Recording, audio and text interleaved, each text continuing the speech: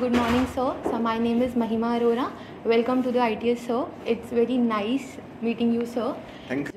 Sir, as you are the master of data analytics, so anything you wanted to say that how data analytics can improve the society?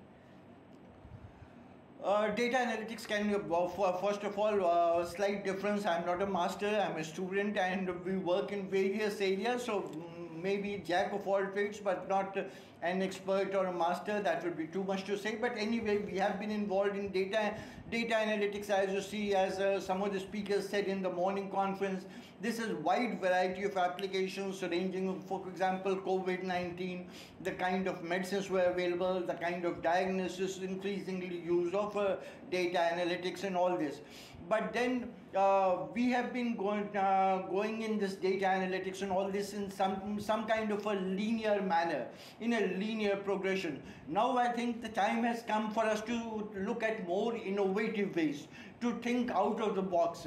I'm reminded of a very powerful thought of one of the most famous Malmint philosophers, Gary Hamel, who said that uh, um, the most powerful people of today don't tinker at the margins. They blow up the new, uh, they blow up the old models and build up entirely new.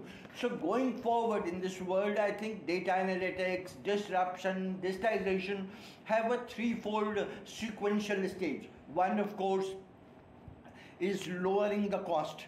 Uh, uh, anything so that uh, will shore up the bottom line, will improve profits and profitability. Then it will improve profits, but ultimately uh, it will help us to build a unique value proposition, uh, of a value proposition with few substitutes. So I think to my mind, this is the way to go about. We are going in the right direction. Uh, we have uh, impressive uh, achievements to our credit, but obviously, as uh, Robert Frost wrote, one of the most famous uh, mm, Poet, mm, uh, poems, which yes, Jawaharlal Nehru also kept near next to his bedside. Yes. Uh, the woods are lovely, dark indeed, Dark indeed. mm, but I have miles to go before I sleep, and miles to go before I sleep. So